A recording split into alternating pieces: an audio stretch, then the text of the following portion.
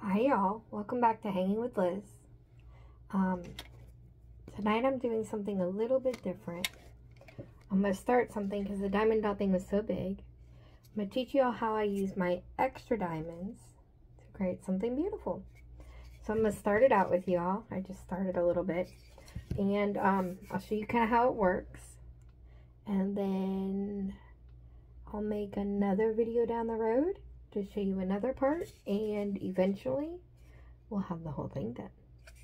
But for now, let's get started.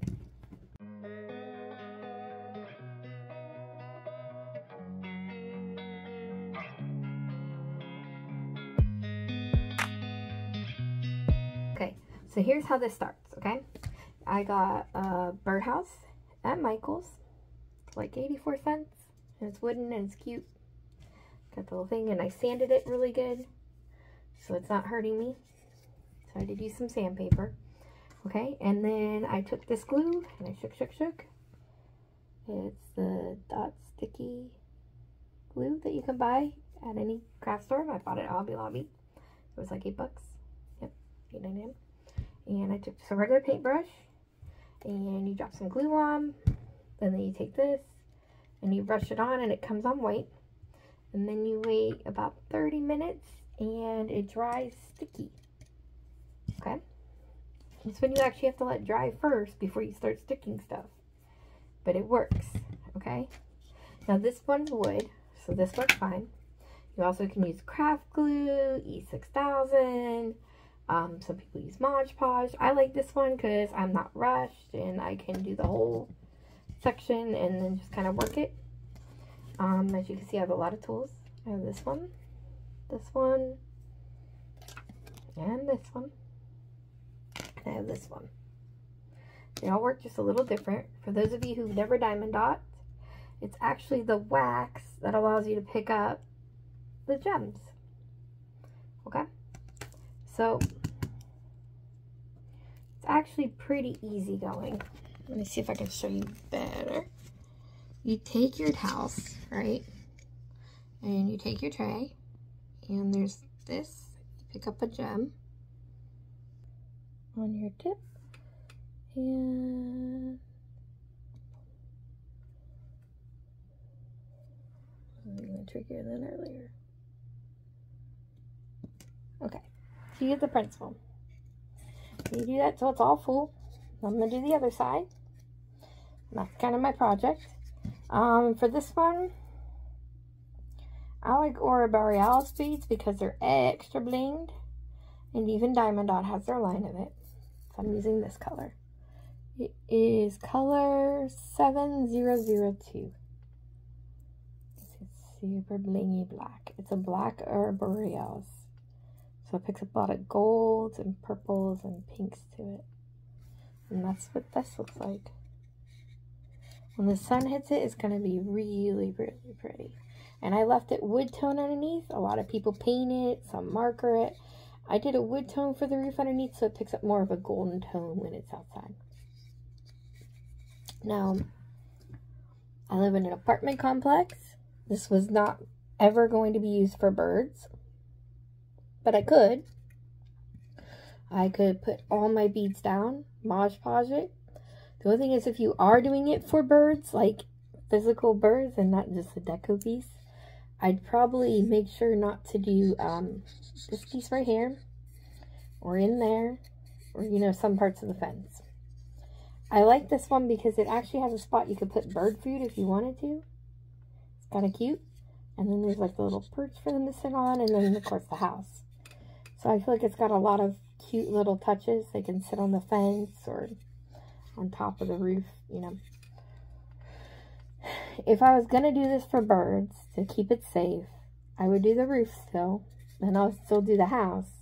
But I would not do the pegs or where the food is, just because. Or, you know, like the top piece, I'd probably just paint that. Um, I already decided mine's a deco piece, so that's fine. Let me slide the bead. That's the other thing. If you mess up, you can take this metal piece and you can slide that bead down and over. Tap it in and it'll be good. See? Easy peasy.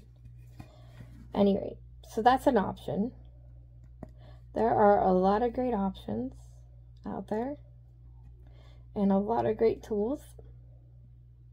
This I got on Amazon. It was a two pack. It came in a little metal tin. I had two extra tips and two pens. And I like this one because this is my wax. I don't have to keep refilling it. And it works great with oddball shapes like squares and stuff.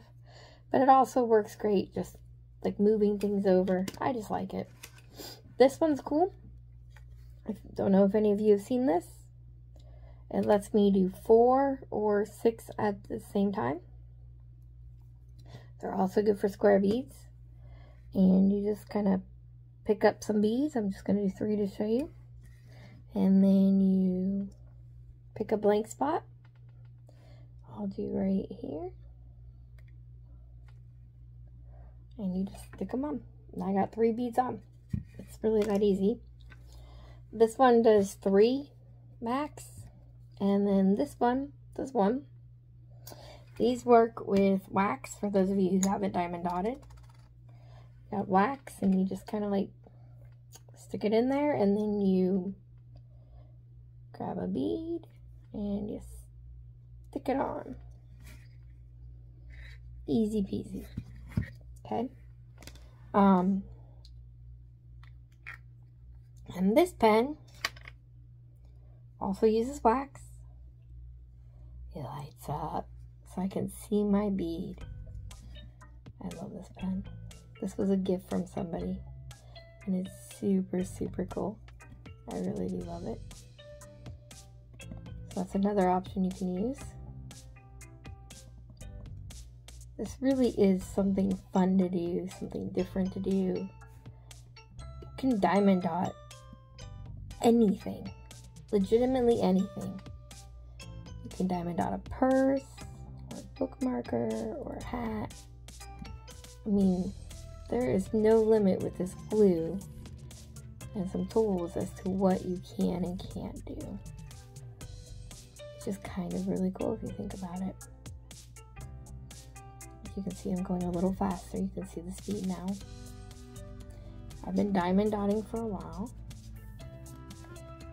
And I know kind of how to do that. Okay, well for our first video,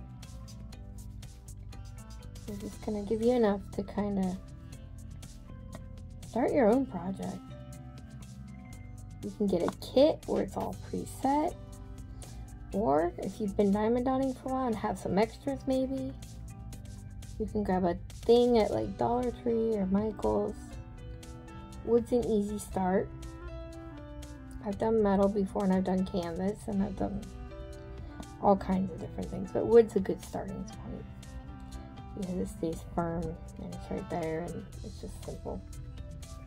Don't worry about it being perfectly even, no one's gonna notice. Once it's all done, it's just blingy.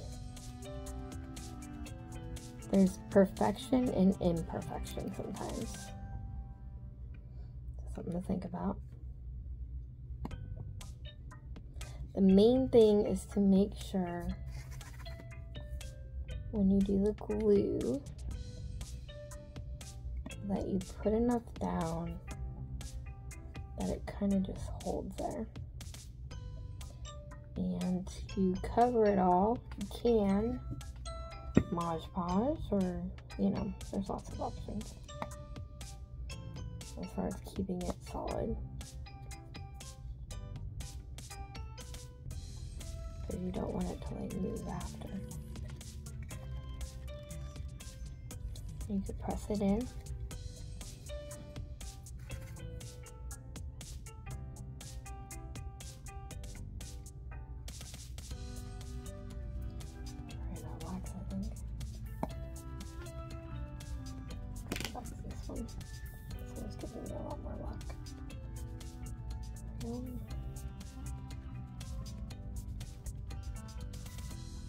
Secret about the wax pens, they sell them in all colors.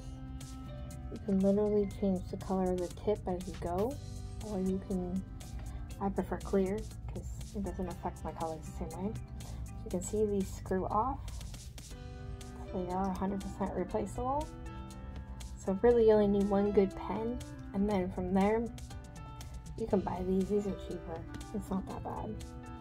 It's totally worth it. Um, the one I have, people use for like when you get your nails done and they want to bling your nails. People use them for. But I use it when I do stuff like this. Sometimes even when I just do my regular kit. Sometimes you just need a little bit of bling. You can see I'm carefully pushing that around. Alright, I got a little bit done. So let's finish off the video with that. See how far I can go here.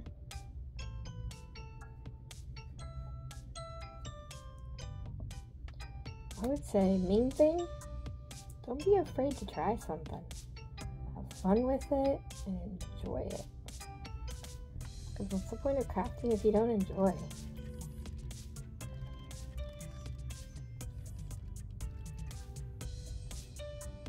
I would love to see your projects below in the comments. Stuff you're thinking about doing. Hope this encourages you all. Alright.